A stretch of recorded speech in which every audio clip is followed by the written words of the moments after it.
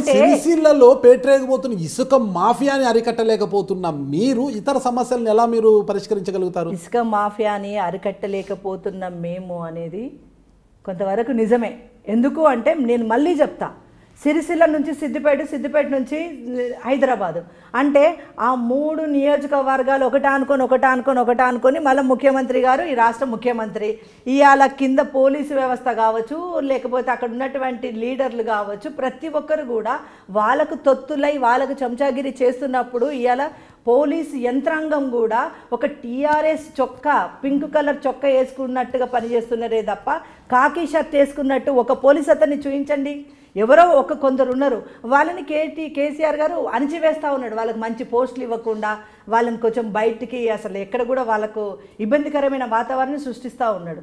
వా తనకు ఈ రాష్ట్ర ప్రభుత్వానికి సానుకూలు ఉన్నటువంటి పోలీసు యంత్రాంగాన్నేమో వాళ్ళ చుట్టూ తింపుకొని వాళ్ళ టీఆర్ఎస్ పేరుకు మాత్రం వాళ్ళు కాకి చొక్కా అనుకుంటున్నారు కదా అది కాకి చొక్కా లాగా వేసుకొని వాళ్ళ డ్యూటీలు చేయట్లేదు.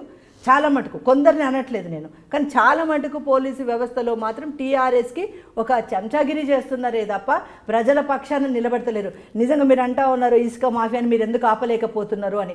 నా నేను సరిపోవట్లేదని నేను చెప్తున్నాను. నేను సరిపోవట్లేదు. ఎందుకంటే ఆ రోజు ఇసుక మాఫియాని మేము అరికడతాము. ఒక ఎమ్మెల్యే స్థాయిలో ఉన్నటువంటి వ్యవహారంలోనే ఇంత ఇసుక మాఫియా జరుగుతూ ఉందంటే రేపు రాబోయే రోజుల్లో ఇంకా ఎంత పెద్ద ఇక్కడ ఇసుక మాఫియా జరుగుతుంది. తాగడానికి నీళ్ళుండయి బోర్లు ఎండిపోతాయి పొలం ఒక వ్యవసాయ భూమికే కాదు ఈరోజు తాగడానికి కూడా సిరిసిల్ల కరీంనగర్ జిల్లా ప్రజలు అల్లాడే రోజు వస్తుంది దీన్ని అరికట్టాలి అని నేను గట్టిగా ఆ రోజు వాయిస్ ఇచ్చినందుకే మరి ఆ రోజు నా భర్త మీద యాక్సిడెంట్ అనేది ఒకటి జరిగింది. ఈ రోజు కూడా ఆయన కోలుకోలేని పరిస్థితి. ఇసుక మాఫియా పైన మీరు ఉద్యమిస్తే మీ భర్త గారికి యాక్సిడెంట్ జరిగింది కదా ఇసుక లారీ గుద్దింది.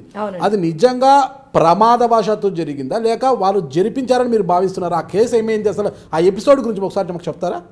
ఈరోజు మేము ఎలక్షన్ టైంలో ఉన్నాము. ప్రధానమైన సమస్యలు మూడు సమస్యలు ఉండే అక్కడ. ఇసుక మాఫియా అనేది ఒకటి. ఎందుకంటే వాగు మొత్తం సిరిసిల్ల వాగు మొత్తం కూడా ఎండిపోతే మరి సిరిసిల్ల ప్రజలకి తాగునీరు సమస్య అసలు వ్యవసాయ భూమి సమస్య పక్కన పెట్టేసి తాగటానికి కూడా బోర్లు ఎండిపోయే పరిస్థితి వస్తుంది అనేది మా యొక్క గట్టి వాదన మేము వినిపించాం. ప్రజల వరకు తీసుకెళ్ళాం ఆ వాదనని.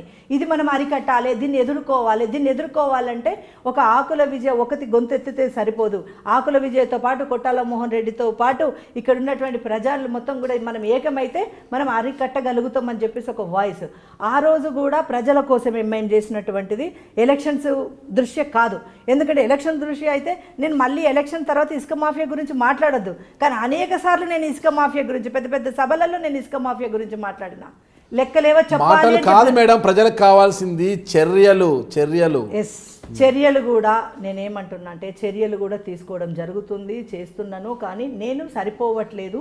ఇంకా వస్తుంది నాకంటూ ఒక టైం అనేది వస్తుంది.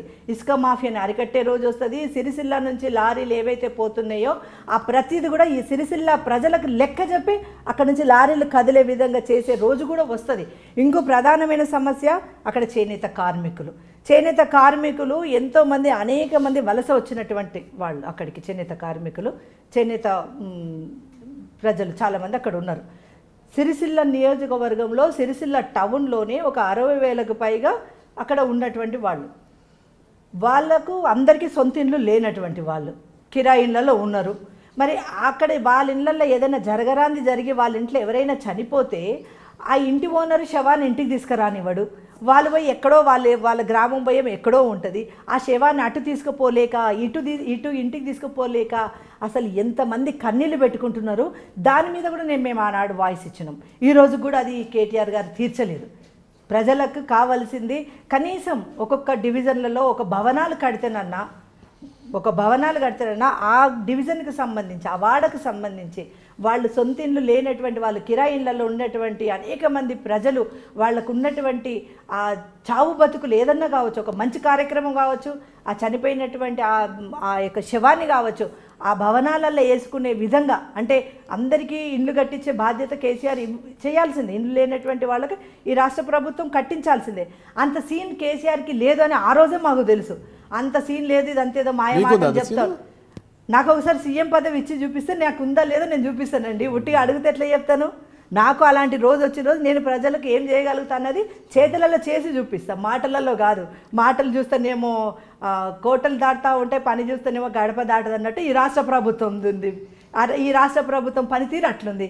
కానీ ఒక మహిళకి ఇచ్చినప్పుడు మహిళ ఏ విధంగా చేయగలుగుతుంది కుటుంబాన్ని ఏ విధంగా అయితే భద్రంగా కాపాడుకోగలుగుతారో రాష్ట్రాన్ని కూడా అట్లా కాపాడుకుంటే నేను రుజువు చేస్తున్నాను